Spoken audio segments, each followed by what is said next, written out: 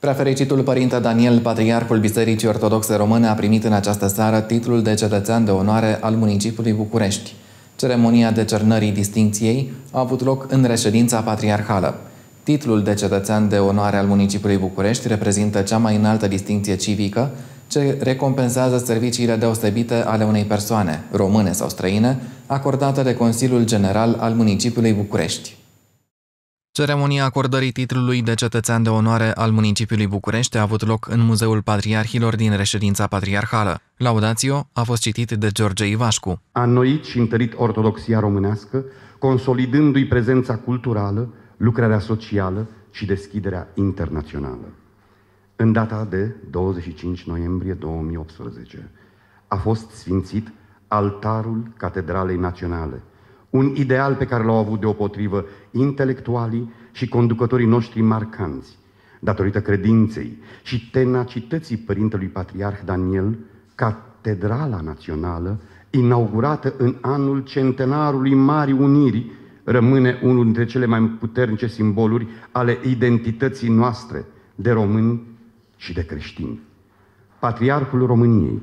a fost preocupat și de deschiderea bisericii către societate prin noile mijloace de comunicare, înființând Centrul de Presă Bazilica, care cuprinde Radio Trinitas, Televiziunea Trinitas TV, publicațiile Lumina, Agenția de Știri Bazilica și Biroul de Presă al Patriarhiei Române. O altă trăsătură specifică personalității Patriarhului Daniel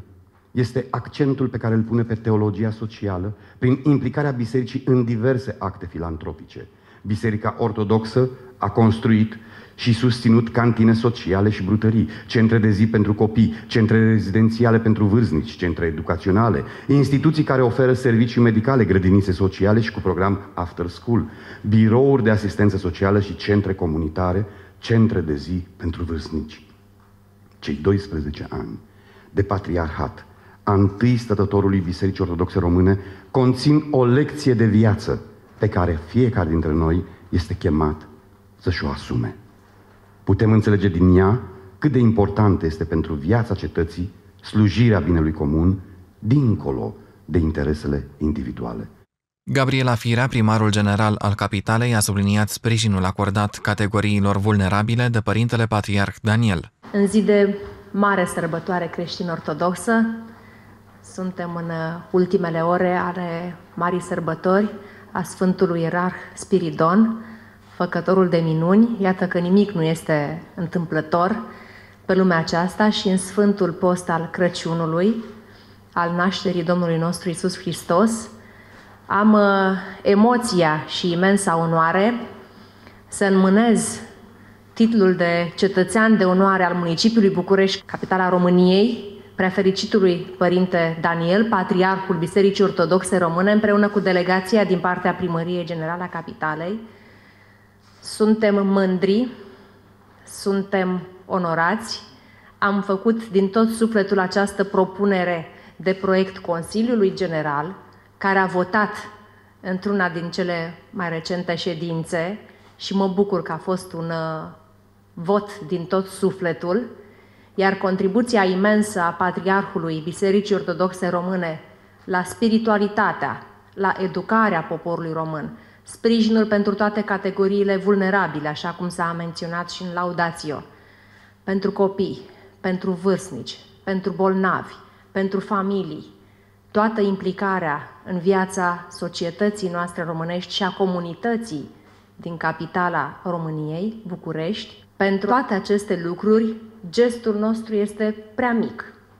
iar cuvintele prea sărace. Simbolul însă considerăm că este important și cu atributul uh, funcției de primar general, gospodarul orașului, ales de cetățeni, am venit sfioși în fața Sfinției voastre să vă înmânăm această diplomă și medalia de cetățean de onoare al municipiului București.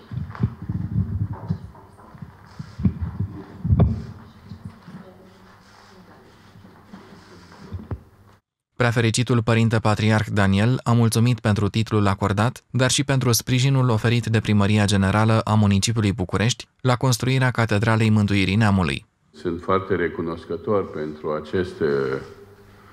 titlu deosebit, cetățean de onoare al capitalei României, al Bucureștilor și, desigur, această onoare este nu doar nouă acordată, ci și Bisericii Ortodoxe Române, pentru că împreună cu toți colaboratorii de la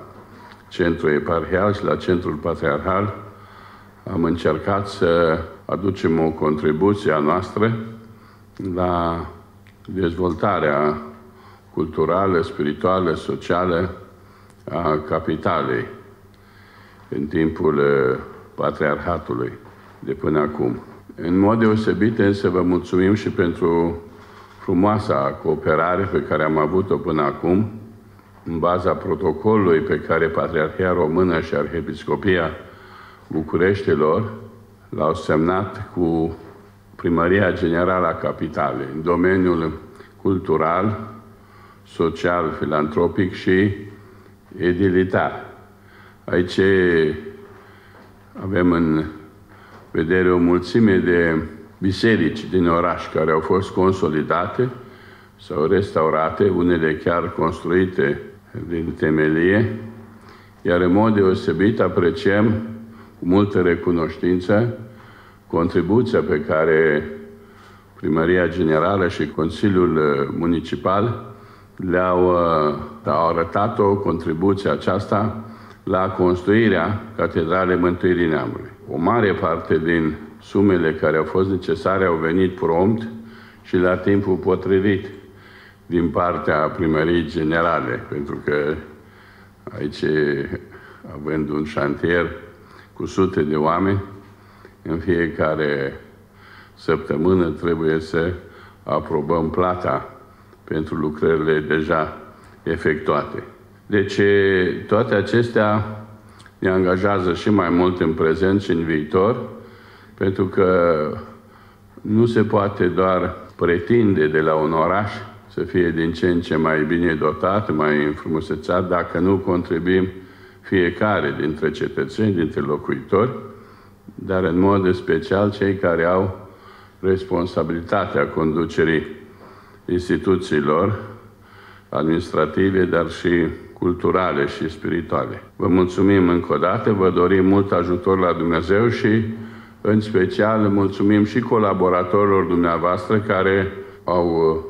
înțeles că această cooperare nu este o simplă uh, modă sau un simplu gest de conjunctură, ci este un act de corresponsabilitate pentru comuniune în uh, capitală și în țară. Titlul de cetățean de onoare al municipiului București se acordă persoanelor din țară și străinătate, a căror activitate este legată în mod deosebit de viața orașului sau pentru talentul și serviciile deosebite aduse comunității.